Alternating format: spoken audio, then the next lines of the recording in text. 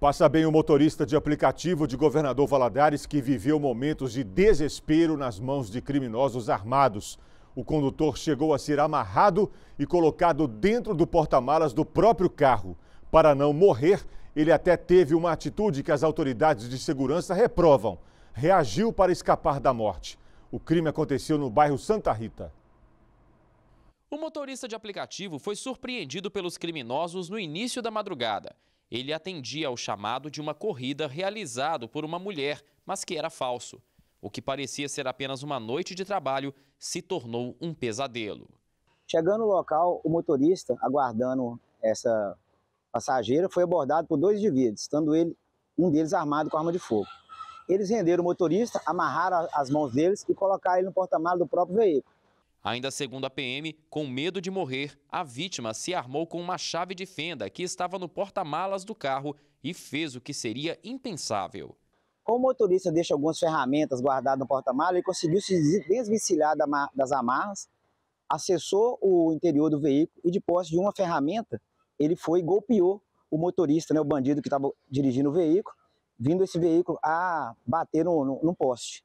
Em ato contínuo, ele golpeou o outro infrator, né, que estava na carona, e ficou segurando o, o infrator motorista até a chegada da polícia. A polícia chegou, fez a prisão, deu busca no, no, no, carro, localizou a arma de fogo utilizada e encaminhou esse infrator para o hospital. Motoristas de aplicativo reclamam da insegurança no trabalho. Este profissional é colega da vítima da tentativa de assalto e, por medo, não quis se identificar.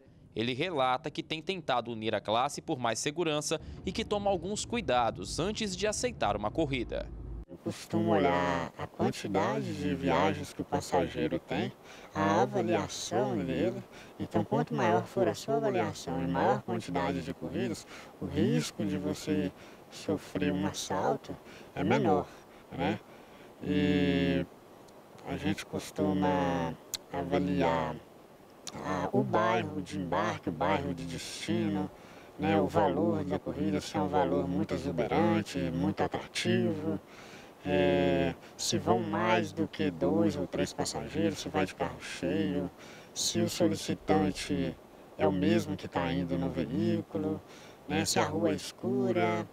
Então eu levo em consideração muitas coisas. E dependendo do, de qual for a análise de imediato ali da, da da viagem solicitada, eu costumo nem aceitar a viagem, eu costumo já recusar de imediato. Segundo ele, as empresas de aplicativo deveriam reforçar as ferramentas de segurança para clientes e condutores.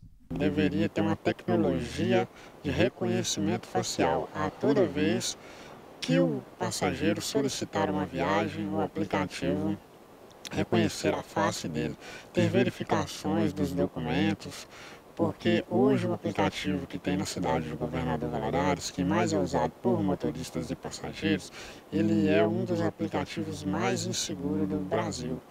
Ele não tem reconhecimento facial para o passageiro, não tem verificação de dados para o passageiro e acaba que o motorista fica muito inseguro, pois o passageiro com um CPF avulsamente, ele consegue colocar qualquer nome, seja masculino, feminino, nomes de objetos, colocar qualquer foto, seja de gênero masculino, feminino ou de objetos, ele pode trocar a qualquer momento. Então isso vulnera isso deixa nós motoristas muito vulneráveis. Segundo a Polícia Militar, os dois suspeitos de envolvimento na tentativa de assalto no bairro Santa Rita já eram conhecidos dos militares.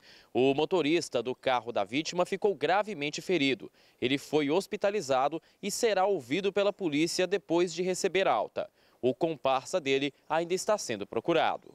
E nós estamos, né, até esse momento, tentando fazer a captura do segundo autor dessa ocorrência, que ambos os dois, né, já são velhos conhecidos nossos e eu acredito que até as próximas horas nós teremos a prisão deles. O colega da vítima conta ainda que conseguiu falar com ela após o caso e que ela tinha medo de morrer. Ele ainda está assustado com essa história, é, diz que agora não sabe né, como vai fazer, porque o carro não tem seguro. É, e aí ele teve um grande prejuízo, então eu acredito que ele deve estar abalado psicologicamente ali, emocionalmente.